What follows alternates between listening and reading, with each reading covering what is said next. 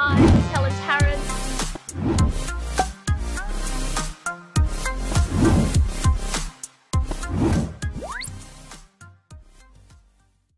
Welcome to another episode of Commercial Property Roadshow. You're here with Helen Tarrant, and I'm here at Moore Park, uh, being a school holidays. And this is one of the things you enjoy about spending school holidays with your kids because you can and you're invested in commercial property. So, as I'm wandering around the shops, my kids are at the fair, uh, at the uh, family show. Uh, I want to talk to you about exclusive agencies or what kind of uh, what's in an agreement in a commercial property uh, agency agreement when you engage a commercial property agent. Now, there is that question that comes up with my clients, and they ask me about should they go exclusive or should they be going as an open listing? Now, there's varying thoughts on this process. Now, if you are giving your property to an exclusive agent, you have to be sure that they absolutely are going to do the right thing by you and they're absolutely going to promote that property, get it leased or get it sold within that time frame, within an agreed uh, period. Otherwise, you have to put it out to the market to two or three agents. Now, typically, depending on the type of property, I always suggest that you do one exclusive agent for the first period. So you would talk to normally a um, two or three different agents, pick one, one that you would use as the exclusive agent, and you'll have them exclusive for anywhere from three to six months. My suggestion is go with someone for three months, see how they promote your property, see who they talk to in their circle, see if they can bring you an offer or a deal to work with. Uh, and if they can't do that, open it up for the rest, the rest of the agents in the area. Now, that does change from area to area. So in certain regional areas, you are better off going with a local agent as versus to a big brand name agent like a Knight Frank or a Collier. You're better off going with the little local ones because they do know everyone around and it's worthwhile talking to, to them and they can, they've got a local database and they'll market locally to get the right people in for your property whether it's for leasing or for sales. Now if you are uh, a big, you know, big bigger area, so you're in a metro area, say like say Sydney CBD, Melbourne CBD, or or Brisbane Metro, or any of the big metro areas, what you want to do is actually put it to a more brand name type um, of a agent. So your big Colliers, Knight Franks, Cushman or Wakefield, and the reason you do that is because they have a large database and a lot of their clients are more driven for that metro type of property. So they're going to give you a better sales um, potential and potentially give you better leasing as well. So that's one of the reasons you would go to them as opposed to a smaller agent. Now, in terms of fees, now sales fees range between 2 to 3% plus GST, depending on how small and how big your property is. If you are looking at leasing, the leasing is a fee between 10 to 15% plus GST, uh, depending on uh, the length of the lease. And the reason it, it goes up, depending on the length of the lease, it is because your agent only has one bite of the cherry. So if they get a tenant for you for three years by a three-year option, it is likely your tenant might stay on after that three years, so they don't actually get to lease that property out for another three uh, three years on top of that, so six years. So they're losing out on that. Unlike in residential where they potentially have that leasing, you know, every year or every 18 months. So that's why it's slightly higher than uh, it would be in um, in the residential space.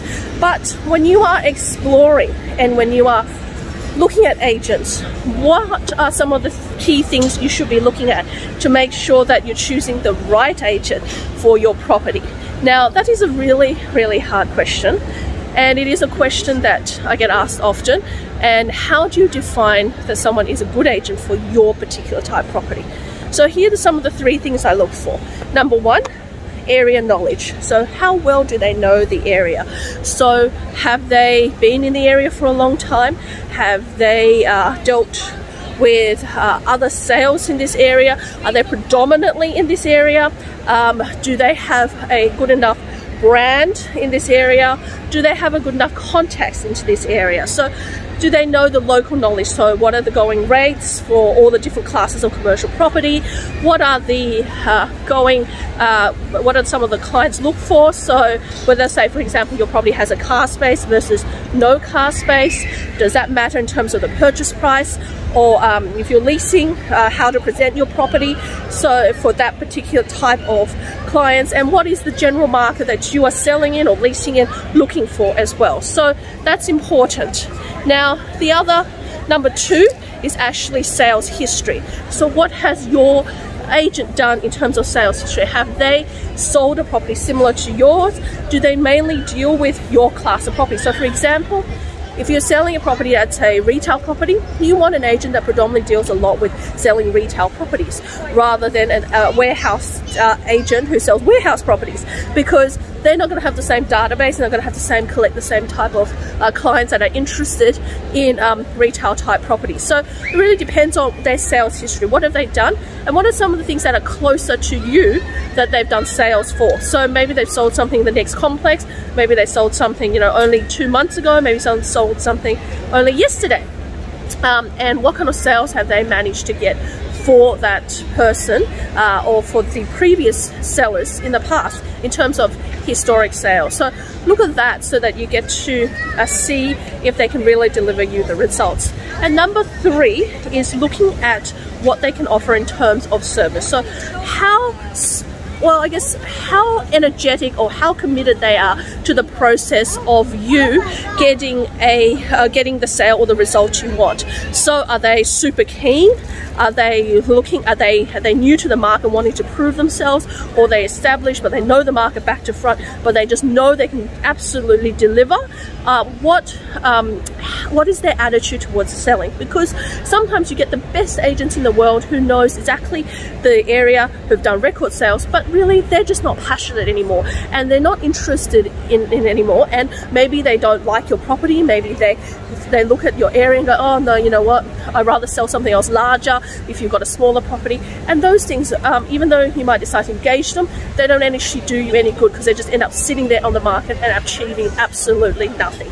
So you really want to look at their enthusiasm and commitment to you and, and the process and making it happen. So when you're looking at the agents uh, and you're looking at that exclusivity, remember that means you're not able to take an offer from any other agent you, for the next potential three or potentially six months. You've really got to assess them to make sure that they are the right agent for you. And going exclusive is a really good idea to incentivize an agent to work really hard for you for the first uh, three to six months as they become the exclusive, especially as the exclusive comes up, they tend to work harder and harder to try to get you a deal. Now, once that exclusivity is over, you may want to consider uh, getting uh, going getting an open day listing, which means that you have two or three agents working on it. My advice is not to go and get a whole bunch of agents. Maybe just choose one other agent to co-share with this agent, which then means that it's not spread everywhere and you don't have for sale signs everywhere on your windows or outside your property, but that only two agents, you still maintain some exclusivity with two agents working together. And if anyone else do come up with an offer, then they can just conjunct with that agent. So when you are looking to sell your property, or you're looking at engaging a commercial agent. It can be very, very confusing because you don't know whether you're doing the right thing or not engaging that person. So it's worthwhile to really talk to two or three agents and really get a feel for it. Look at their proposal, look at how much the whole process is going to cost, look at how much they uh, estimate the marketing campaign would be and the marketing process and then sit down and really compare apples with apples. And finally, by talking to them, seeing their historic sales and looking what they've done in the past, they can give you really good feeling about which one you should go with.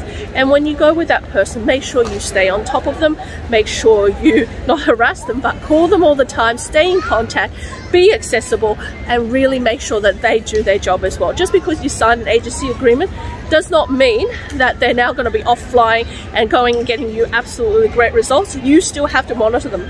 Ultimately, what you do with your property and, and the results and the the rewards you get from it, you have to make sure you get it. So you have to monitor these agents. So I hope that has been helpful.